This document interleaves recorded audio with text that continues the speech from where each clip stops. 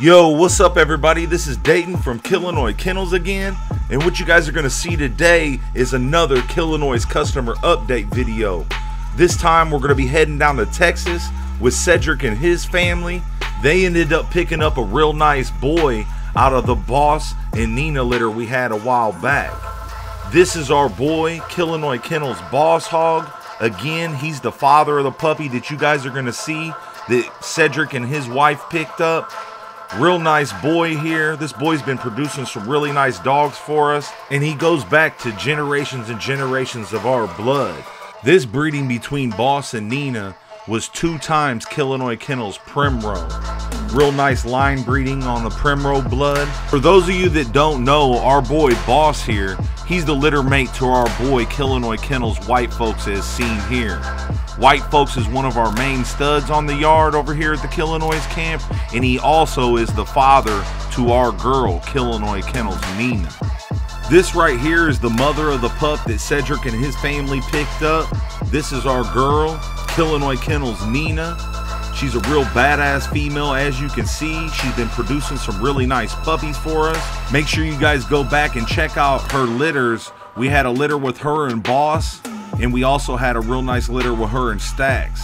You know, here soon we're going to be getting some updated footage of this girl. She has matured a lot since this footage. This was when she was pretty young. She's a lot more impressive now, and I can't wait to show her to you guys. With all that being said, we took Boss, which is white folks' litter mate brother, and we bred him to one of white folks' daughters to again line breed on the Killinois Kennels Primrose blood. That breeding is real similar to the breeding that we got going on with Dark Low and Precious. If you haven't, make sure you guys go check out that video. And for those of you that don't know, our girl Nina here, she's the litter mate sister to our boy Killinois Kennels Napoleon. And we're not going to break down the pedigree all crazy for you guys in this video. If you're interested in seeing the pedigree breakdown on Boss and Nina, make sure you guys go check out their video. You know, we break it down really nice for you guys. We're just trying to show you the method to our madness over here. We're not just over here breeding dogs and putting dogs together. There's a lot more going on behind the scenes than people know. This is actual the Boss and Nina litter when they was pups. The boy that you are going to see is the dog on the far right. Real nice puppy.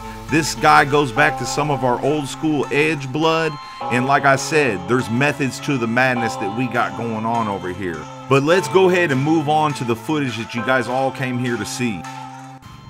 This right here is your boy Frank, the dog with the ears right there. Again, he's out of the Boss and Nina litter. A real nice boy. Look at the head on that monster. That boy's just a little over a year old and still got a lot of growing to do. See the way he dumps his head in that bucket right there? He's just like a perfect combination of Boss and Nina. It's funny. But, you know, that, like I said, this boy's just a year old and still has a ton of growing to do. I can't wait to see the final product on this dog. That's it for the customer update on Frank, but make sure you guys stay tuned to the end of this video. We got a lot of important information we're going to be dropping. Let me start off by saying big shout out to everybody that's picked up a pup from us over here at the Killinois camp. I want to welcome you guys to the Killinois family. Everybody's been doing a real good job with their puppies. The customer update videos are pouring in.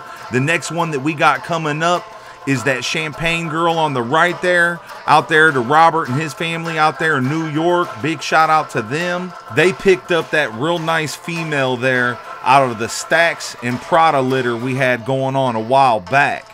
This is our boy Killinois Kennel Stacks, another one of our main studs over here at the Killinois camp. He's a real badass boy, as you can see, and this boy's been throwing it down. I've received some pictures off a couple of his other litters, and I can't wait to show you guys these updates. This right here is the mother of the puppy that Robert and his family picked up. This is our girl, Killinois Kennels Prada, another one of the many badass females we have on the yard over here at the Killinois camp. This girl threw down on her first litter, and just wait till you guys see what we have coming up with her next. Let us know in the comments section if you guys can think of what Killinois Kennel stud we bred her to for her second breeding. If you haven't already, make sure you guys go check out Stella's video. We posted that about a week or two ago. Real nice video, and we got something major going down with this girl right now as we speak. I'm currently working on the video, letting you guys know the breeding we did with Stella. But again, if you guys can think of who we bred Stella to, let us know in the comment section.